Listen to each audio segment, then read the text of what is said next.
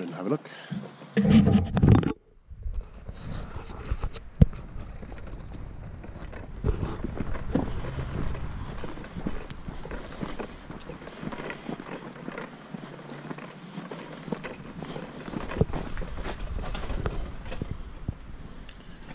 Ah, it's touching, so it's an X.